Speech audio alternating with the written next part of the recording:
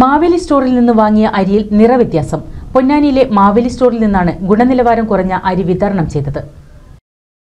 കഴിഞ്ഞ ദിവസം കടവനാട് തുളിശ്ശേരി വീട്ടിൽ കൃഷ്ണൻ പൊന്നാനി അങ്ങാടിയിലെ മാവേലി സ്റ്റോറിൽ നിന്നാണ് പത്ത് കിലോ മട്ട അരി വാങ്ങിയത്.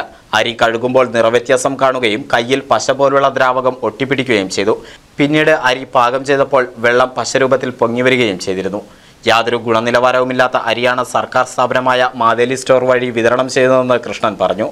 പൊന്നാനി മാവേലി സ്റ്റോറിൽ നിന്ന് മേടിച്ച മത്ത അരിയിലാണ് ഇപ്പോൾ ഈ ഒരവസ്ഥ ഇന്ന് കാലത്ത് ചോറ് വെക്കാൻ വേണ്ടി അരി കഴിച്ചിട്ട് നോക്കുമ്പോൾ അരി കഴിയപ്പോഴാണ് പാത്രം നട്ട് അടുത്ത വീട്ടിൽ നിന്ന് ഒരു പാത്രം അത് ഒരു ഭയം തോന്നി. ഇതിൽ എന്തെങ്കിലും മറ്റുള്ള എന്തെങ്കിലും സാംശങ്ങളുണ്ടോ ഇല്ലെന്നുള്ളത് അറിയില്ല.